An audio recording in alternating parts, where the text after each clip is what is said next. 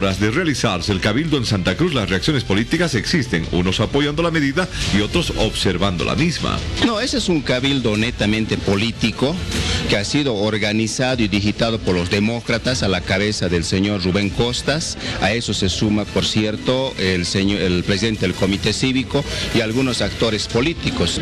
Es político, no es por ninguna reivindicación que debería o una lucha de los intereses de Santa Cruz, más aún siendo convocado por el Comité Pro Interés de Santa Cruz.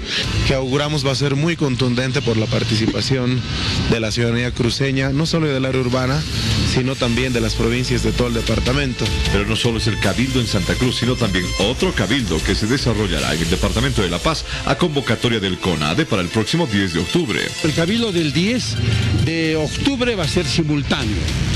Para las ciudades de La Paz y El Alto se va a llevar a cabo en la Plaza San Francisco a partir de las 5 de la tarde. Están invitados todas las organizaciones vivas que son parte de CONADE, abierta a todas, inclusive organizaciones eh, no solamente cívicas, sino también religiosas. El CONADE dice que sí harán conocer este cabildo al Tribunal Supremo Electoral para que se envíe a observadores. Y vamos a tocar allá temas que son relevantes de interés nacional como el tema de la chiquitanía.